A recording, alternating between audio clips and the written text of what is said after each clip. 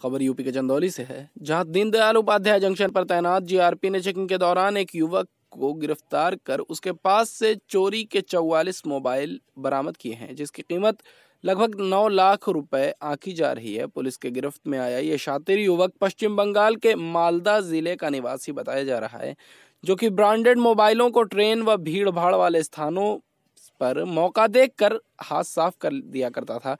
इसी बीच ये विभिन्न स्थानों से मोबाइल की चोरी कर उसे बिक्री करने के लिए जा रहा था तभी चेकिंग के दौरान पुलिस के हत्थे चढ़ गया।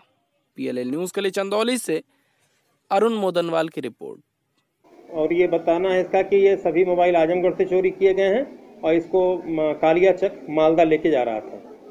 कैसे ये इतने सारे मोबाइल को से कोई काम कर रहा है क्या आप इसका कुछ बात समझेंगे पूछताछ में ये बात आई है कि ये लोग भीड़ भाड़ वाली जगहों पे ये छोटे बच्चों को रखते हैं और उनसे इस तरह का मोबाइल चोरी कराते हैं। जब मोबाइल काफ़ी मात्रा में इकट्ठा हो जाता है तो उसको ले आकर ऐसी जगहों पे ये लोग बेचते हैं जहाँ से पुलिस का रिकवर करना नामुमकिन हो। हाँ अब ये जाँच का विषय है, सब आई वगैरह रन कराई जाएगी और इसको कनेक्ट कराया जाएगा कहाँ से चोरी।